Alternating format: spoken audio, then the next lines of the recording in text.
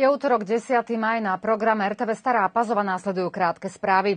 Predseda obce Stará Pazova Ďorđe Radinovič dnes e, Táni Todorovičovej, riaditeľke špeciálnej strednej školy Anton Skála, doručil kľúče od nového kombi, vozidla, ktoré obec zabezpečila pre potreby školy. Ide o Volkswagen kombi pre osoby s invaliditou a tiež osobné auto Polo. Z lokálneho rozpočtu bolo pre tieto účely vyčlenených okolo 10 miliónov dinárov. Deti tak získali možnosť pohodlne a bezplatne sa viesť z domu do školy a naspäť. Týmto ústretovým krokom odľahlo najmä rodičom, ktorí sa s odvozom detí môžu spokojne spoľahnúť na školu, povedala riaditeľka Todorovičová a dodala, že toto je po prvýkrát, čo dostali vozidlo od obce, ktorá sa stará aj o menšinové skupiny. Denne sa autom kombi prevezie okolo 30 žiakov z celej obce a v službe bude auto od 7 do 16 hodiny. Osobné auto sa bude používať na jazdy do elokovaných oddelení v Novej Pazove, Bežke, Indii a Pečinciach. Keďže staré auto špeciálnej školy od septembra nie je funkčné, pomoc ponúklo stredisko sociálnej práce, ktoré im ustúpilo svoje vozidlo a aj toto je dôkazom dobrej medzisektorovej spolupráce v obci Stará Pazova. Prezident Srbska Aleksandr Vučić dnes rokoval so špeciálnym vyslancom Nemecka pre krajiny Západného Balkánu s Manuelom Saracinom. Na zasadnutí Vučić okrem iného povedal, že naša krajina bude ešte intenzívnejšie spolupracovať s krajinami Európskej únie a smerom k európskej ceste vynaloží maximálne úsilie. Prezident očakáva, že Saracinovo pôsobenie dodatočne podporí spoluprácu krajín Západného Balkánu, čo by pozitívne vplývalo na zachovanie stability a mieru v regióne. Informovali dnes z tlačovej spravodajskej služby prezidenta. Saracin skonštatoval, že politika rozšírenia Európskej únie o krajiny Západného Balkánu a spolupráce bude jednou z priorít nemeckej zahraničnej politiky v najbližších rokoch. V Kragujevci v štátnom data stredisku bola dnes podpísaná zmluva so spoločnosťou Oracle. Prítomná tu bola aj premiérka Anna Brnabičová a zástupca šéfa misie veľvyslanca Spojených štátov amerických John Ginkle. Podpísaním tejto zmluvy sa Srbsko stáva lídrom v IT úseku v juhovýchodnej Európe. Včera bola na návšteve v Starej Pazove guvernérka Rotary dištriktu 2483 pre Srbsko a Čiernu horu Zorica Jestrovičová. Guvernérka pochválila prácu a nápady Rotary klubu Stará Pazova a vyjadrila veľkú spokojnosť s tým, že sa na Staropazovskom námestí pri vstupe na tržnicu postavilo veľké pazovské srdce, do ktorého sa zbierajú vrchnáky od plastových fliaž. Ako povedala aktuálna predsednička Rotary klubu Helena Ivkovičová, prostriedky, ktoré sa získajú zo zberu vrchnákov, budú venované lokálnym zdravotníckým, prípadne vzdelávacím inštitúciám. So želaním, aby sa srdce skoro naplnilo, prvé vrchnáky do srdca vhodili guvernérka a predsednička Staropazovského Rotary klubu. Dnes boli v Novej Pazove udelené autosedačky pre deti z Novej Pazovy, Vojky a Krneševiec. Ide o akciu, ktorú lokálna samozpráva organizuje pravidelne už druhý rok. Autosedačky teraz dostávajú zdarma deti narodené v čase od 1. júna do 31. decembra 2021. Včera boli sedačky udelené deťom v Starej Pazove a zajtra sa rovnaká akcia presunie do Nových Bánoviec. V tomto kole bude podelených spolu 270 autosedačiek a týka sa to prihlásených rodičov, ktorých dieťa má nahlásené bydlisko v Staropazovskej obci.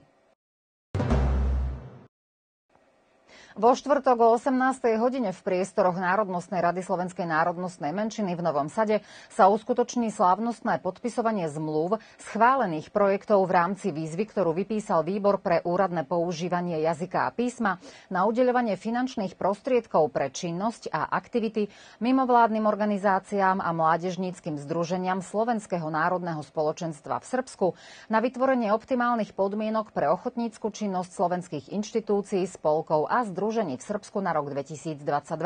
Komisia pracovala v zložení Vladimír Francisty, Branislav Kulík, Jan Šuľan a Janko Havran. Hodnotili 57 žiadostí a výsledky vyhodnotenia sú zverejnené na oficiálnej webovej stránke Národnostnej rady rada.org.rs.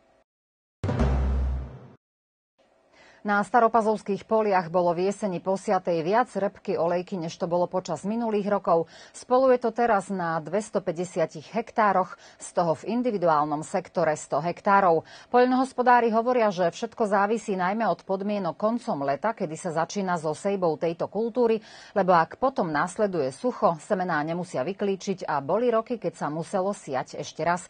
Jeseň repke prijala a teraz sa repka nachádza v poslednej fáze. Je vo výbornom výbornom stave a očakáva sa dobrá úroda a tiež aj dobrá cena, okolo 800 eur za tonu. Výnosy sú výhodné, ak sa z jedného hektára dostane priemerne okolo 3,5 až 4 tony repky. Žatva sa očakáva začiatkom júna. V galérii Mira Brtka včera večer bola otvorená výstava dvoch maliarov z Belehradu, ktorí priniesli po 8 prác najmä väčšieho formátu a v rámci svojich snov na plácne predstavujú témy od minulosti po budúcnosť. Nenad Stankovič a Dragan Ilič. Prvý maliar je profesorom na Fakulte výtvarných umení a prednáša technológiu maliarstva. Viackrát vystavoval doma aj v zahraničí. Druhý výtvarník je na voľnej nohe, vyše 4 decénie sa venuje maliarstvu a je predstaviteľom hyperrealizmu, magického realizmu a fantastiky. E, títo dvaja autori mali niekoľko spoločných výstav, e, tak sa nejako e, zhodlo, aby sme spravili jednu výstavu, tak lebo pekný je čas a troška sa oni aj vesele. Teda Nenad Stanković aj Dragan Ilić Divogo. Oni dvaja sa predstaviteľia srpského surrealizmu. Tu sa predstavujú osem prác, e, je to väčšina olej na platne. E, výstava bude trvať do konca mája, teda do 31. mája. A čo sa týka motivov? E, surrealizmo znamená, to je imaginácia, to sa ich sny alebo nejaké e, prejavy, čo zažili vo sne alebo nejakých iných situáciách. A ďalšie plány galérie? Ďalšie plány máme už tradičnú výstavu malého formáta z Belehradu Lupuca a júl, august máme našu výstavu autorov, ktorí nechávajú práce, to znamená stála postavka našej galerie a už v septembri z nás budú Koreni 8 a aj ďalšie samostatné výstavy. Akademický maliar zo Starej Pazovy Ján Agarský má úspešné a plodné obdobie. Zajtra v Novom sade v priestoroch Ústavu pre kultúru vojvodinských Slovákov otvára svoju samostatnú výstavu Snové záhrady a zároveň v rámci 18. ročníka Európskej noci múzeí bude v sobotu 14. maja v Báčskom Petrovci v galérii Zuzky Medveďovej otvorená výstava Jubilanti, na ktorej budú svoje diela vystavovať jubilanti Škulec, Agarský a Ďurovka, pričom prví dvaja oslavujú v tomto roku jubilanti jubileum 60 rokov a tretí autor 50. Zo spoločnosti Gas Feromont Stará Pazova oznamujú užívateľom plynu, že v piatok 13. mája kvôli plánovaným prácam na inštalácii vedení s ultrasonickými meradlami bude odstavená dodávka plynu na hlavných staniciach v intervale od 5.30 do 20. hodiny. To znamená, že takmer celý deň budú bez plynu užívateľia v Starej Pazove, Novej Pazove, Vojke, Krneševciach, Golubinciach a všetky priemyselné zóny pri uvedených obciach. Doplňujúce informácie občania môžu získať na telefóne 0 022 313 314 alebo 314 315 alebo 0800 31 31 33. Srbský tenista Dušan Lajovič prehral s Alexom de Minorom 2-0 po setoch 6-4 a 6-1 v prvom kole Mastersu v Ríme. Aj keď sa podľa výsledku môže zdať, že išlo o jednoznačnú výhru súpera, zápas bol dosť vyrovnaný. De Minor, ktorý je 22. najlepším hráčom sveta, zvíťazil najmä vďaka lepšej realizácii tzv. break lopty.